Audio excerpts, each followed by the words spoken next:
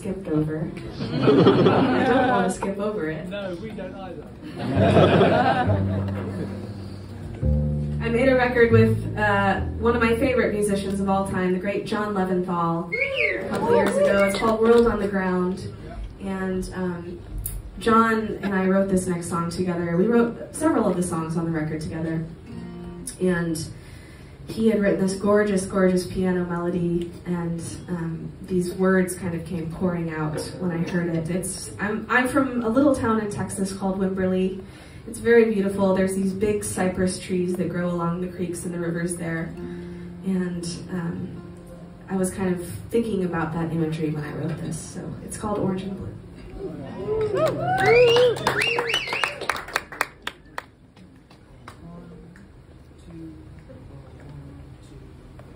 thank mm -hmm. you